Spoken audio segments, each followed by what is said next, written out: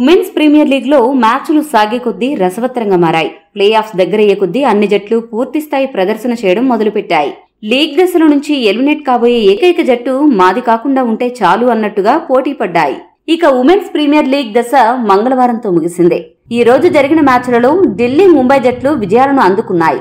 ముంబై ఢిల్లీ రెండు జట్లకు సమాన పాయింట్లు ఉన్నా ఢిల్లీ నెట్ రన్ రేట్ ఎక్కువగా ఉండడంతో మొదటి స్థానాన్ని కైవసం చేసుకుంది. ఫైనల్స్కు దూసుకెళ్ళింది రెండవ స్థానంలో ముంబై మూడవ స్థానంలో ఉత్తరప్రదేశ్ నిలిచాయి. ఈ రెండు జట్లు ఎలిమినేటర్ మ్యాచ్లో తలపడనున్నాయి. ఇక మంగళవారం జరిగిన డబుల్ హెడర్లో భాగంగా మొట్టమొదటి మ్యాచ్లో Mumbai Indians Royal Challengers Bengaluru జట్లు తలపడ్డాయి.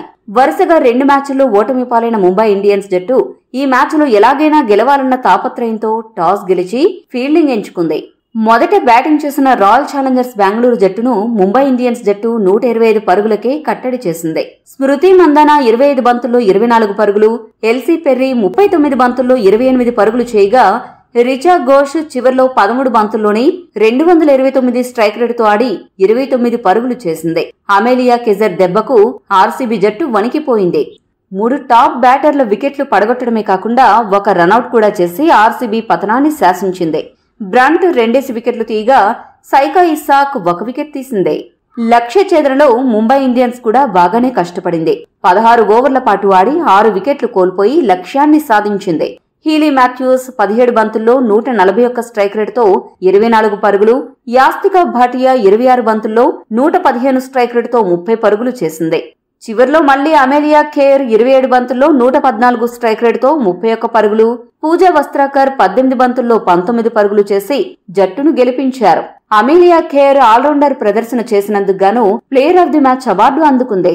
ఆర్సీబీ చివరి మ్యాచ్లో కూడా ఓటమి పాలయ్యి పరువు పోగొట్టుకుంది.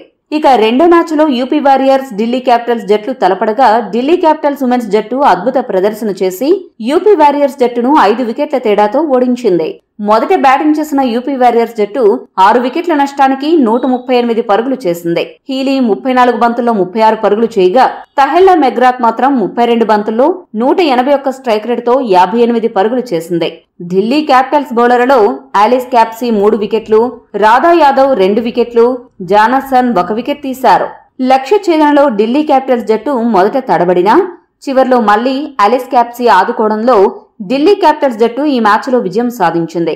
ఓపెనర్ మెగ్లానింగ్ ఇరవై మూడు బంతుల్లో నూట అరవై తొమ్మిది స్ట్రైక్ రేటుతో ముప్పై తొమ్మిది పరుగులు చేసింది.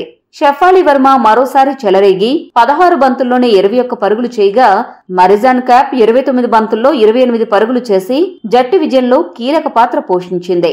సబ్నమ్ ఇస్మాయిల్ రెండు వికెట్లు తీయగా యశశ్రీ సోఫీ ఎక్లస్టర్న్ చెరొక వికెట్ తీశారు. ఈ వీడియో మీకు నచ్చితే లైక్ షేర్ కామెంట్ చేయండి. మరిన్ని స్పోర్ట్స్ అప్డేట్స్ కోసం మా ఛానల్ను సబ్స్క్రైబ్ చేసుకోండి.